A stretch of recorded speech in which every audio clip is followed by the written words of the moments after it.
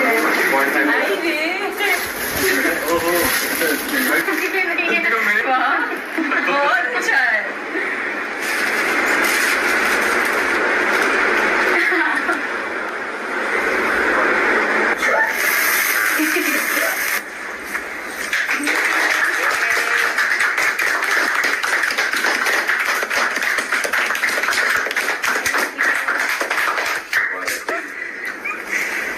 ठीक तो हुआ है। हमारी खुशी समझे हमारी खुशी आप लोग में है। हम तो ये अच्छी बात है आप कह रहे हो लेकिन हमारी खुशी तुम पे है। तुम खुश हो तो हम भी खुश रहे। देखो ऐसे ही होता है बच्चे खुश तो माँ खुश और माँ खुश तो बच्चे खुश। दोनों साथ में चल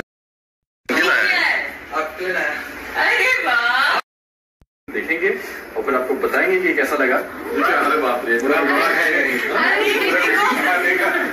कवर केक कहाँ रखो वो सोफे पे सोफे पे सोफे हाँ तो ये क्या है ये कहाँ जूतों पे कहाँ रखती हो?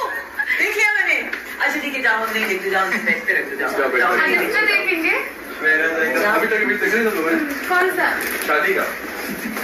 ये वाला। शादी का वीडियो। पॉज करो ना।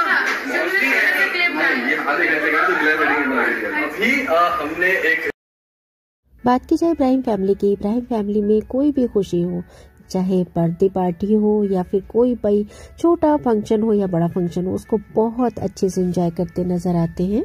दीपिका की प्रेगनेंसी को फोर मंथ हो चुके हैं।